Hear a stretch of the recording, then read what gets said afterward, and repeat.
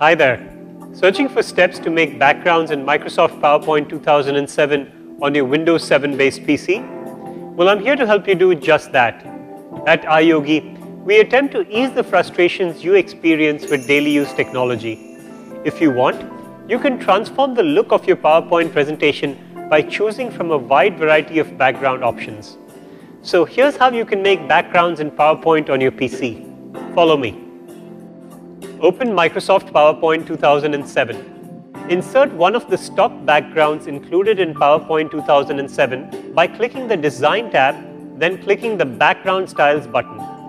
Choose one of the preloaded backgrounds for a quick, professional looking solution. Fill the slide with a solid color or custom gradient by clicking the arrow next to Background Styles and selecting the Format Background option. Choose a solid fill or gradient fill and select the colors you want and then click Close to set the background. You can customize your background either with a texture from the Fill menu, click Picture or Texture Fill, then choose one of the preloaded textures and then click Close. Or with a picture, click File to use a stock photo that you downloaded to your computer and then click Close.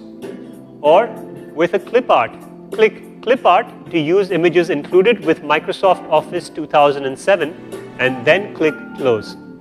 So, you see using these simple steps you can make backgrounds in Microsoft PowerPoint 2007 on your Windows 7 based PC without any hassles.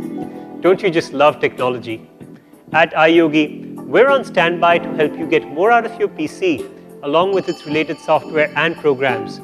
If you have questions on antivirus, security, protection, or on how to work your other devices with your PC, such as syncing your printer, MP3 player, camera, or router, etc., just give us a call. We'd be delighted to help. Go ahead, have fun with your PC. Good karma.